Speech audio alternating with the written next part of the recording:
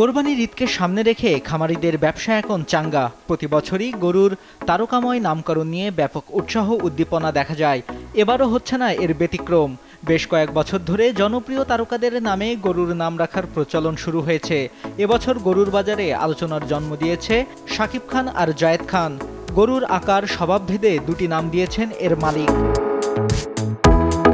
পাশাপাশি রাখা এই দুটি গরুর মধ্যে সাদা রঙের গরুটির দাম হাঁকা হচ্ছে পনেরো লাখ টাকা। গরুটির ওজন এক হাজার কেজি। গরুটির নামই দেয়া হয়েছে শাকিব খান। আর পাশের লাল রঙের গরুটির নাম জায়েদ খান। ওজন নয়শো কেজি। দাম চোদ্দ লাখ টাকা। নারায়ণগঞ্জের সিদ্ধিরগঞ্জের আরকে অ্যাগ্রো ফার্মে গরু দুটি রাখা আছে। ফার্মের ম্যানেজার মোহাম্মদ আব্দুস সামাদ জানান, ভালোবেসেই তাদের এমন নাম রাখা হয়েছে। এই খামারেই বিশাল দেহের অধিকারী আরেকটি গরুর নাম হামজা। তার দাম নির্ধারণ করা হয়েছে পঞ্চাশ লাখ টাকা। বলা যায় হামজাই এই খামারের রাজা।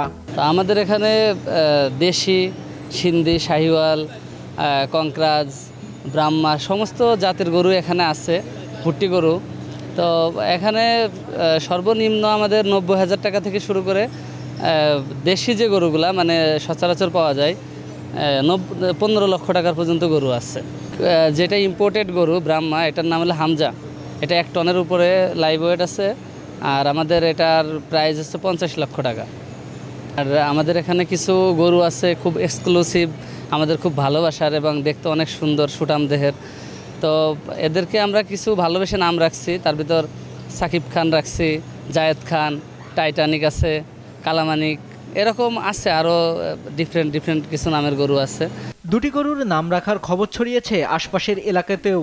তাই গরু দুটি দেখতে ভিড় করছেন অনেকেই। তবে ক্রেতাদের অভিযোগ চিত্রনায়ক ও খলনায়কদের নামের সঙ্গে গরুর নামকরণ করে ক্রেতাদের কাছ থেকে বেশি দাম চাওয়া হচ্ছে।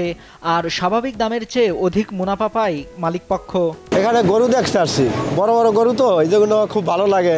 এই জন্য পরিবেশ সহ লইয়েছি আর কি দেখতে। প্রতি বছরই আমি প্রায় আসি। এখানে প্রায় দুই তিন বছর থেকে আসি। গত বছর আসছিলাম এবছর আসছি। আজকে প্রথম আসলাম এবছরে তো গরু যা দেখছি ভালোই লাগছে আর গরু মনে করেন আগের থেকে অনেক বাড়ছে। তারা অনেক সময় এই স্পেশাল গরুগুলো রাখে যেরকম এই যে ব্রাহ্মণ গরু তারপরে এই যে এই গরুটা এগুলো অনেক সুন্দর গরু। ফ্রেন্ডসদের সাথে আসছি অ্যাকচুয়ালি তো তেমন কোনো প্ল্যান করে আসি নাই হুট করেই আসা। আমরা সব ফার্মে মোটামুটি যে দেখি গরু এখানেরও কালেকশন কালেকশন ভালো গরুর। এবারও। আমরা লাস্ট ইয়ারও আসছিলাম দেখতে। জেলা প্রাণী সম্পদ অধিদপ্তরের তথ্য মতে, এবছর নারায়ণগঞ্জে গবাদি পশুর চাহিদা রয়েছে এক লাখ ছেষট্টি হাজার আটশো তিনটি। তার মধ্যে একাত্তর হাজার দুইশো চৌত্রিশটি গরুর প্রাপ্যতা রয়েছে, যা চাহিদার তুলনায় অনেক কম। খামারে মোটা তাজা গরুর কদর থাকলেও ছোট গরুর চাহিদাই সব থেকে বেশি। লক্ষ্য পূরণ করা গেলে নারায়ণগঞ্জে এবছর সব মিলিয়ে প্রায় সাত কোটি টাকার পশু কেনাবেচা হবে বলে আশা প্রাণী সম্পদ অধিদপ্তরের। न्यूज़ डेस्क उद्दिष्ट भी।